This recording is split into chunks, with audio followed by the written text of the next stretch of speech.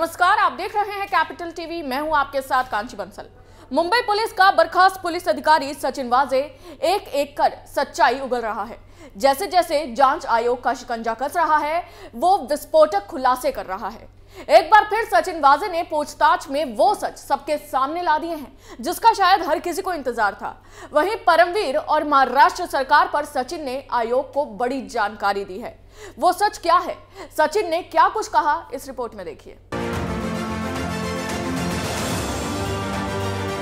सौ करोड़ वसूली मामले में जाँच चल रही है।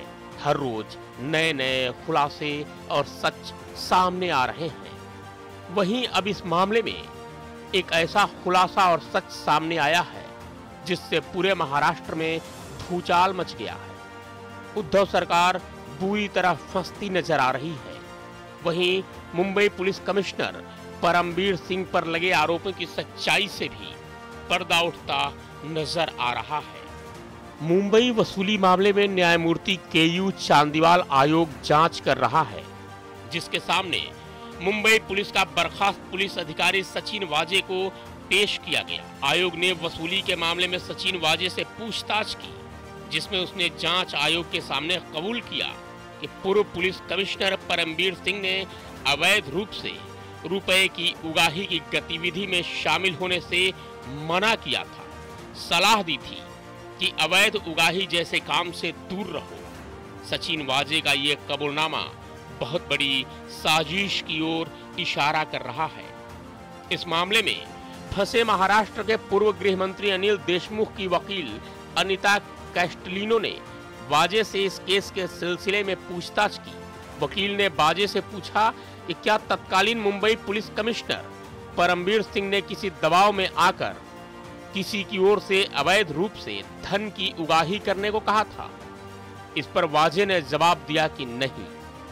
परमवीर ने ऐसा करने के लिए नहीं कहा था, बल्कि उन्होंने ऐसे मामलों से दूर रहने की सलाह दी थी।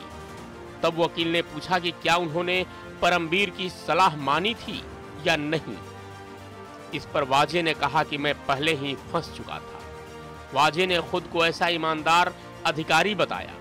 साथ ही कहा कि कुछ दुर्भाग्यपूर्ण परिस्थितियों में दबाव डालकर उनसे कानून के विरुद्ध काम कराया गया।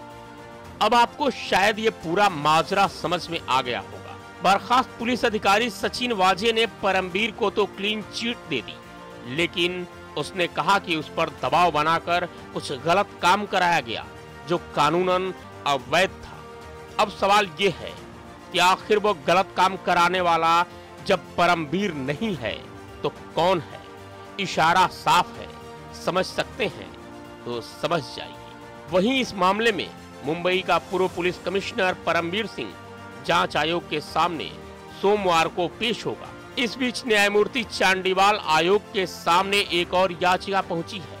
खुद को सामाजिक कार्यकर्ता बताने वाले एक व्यक्ति ने याचिका दी है कि बिल्डरों, व्यवसायियों और आम लोगों को गलत मामलों में फंसाया गया। उन्हें राहत दी जाए। आयोग ने इस याचिका को रिकॉर्ड में दर्ज कर लिया बर्खास्त पुलिस अधिकारी सचिन वाजे के कबूलनामे से परमवीर को राहत मिलती नज़र आ रही है। लेकिन इसी के साथ कई और लोगों पर गाज गिर सकती है, जिन्होंने वाजे पर दबाव डालकर अवैध वसूल समेत कई गैर कानूनी काम कराए हैं। अभी के लिए बस इतना ही। देखते रहिए कैपिटल टीवी। जय हिंद। Thank you.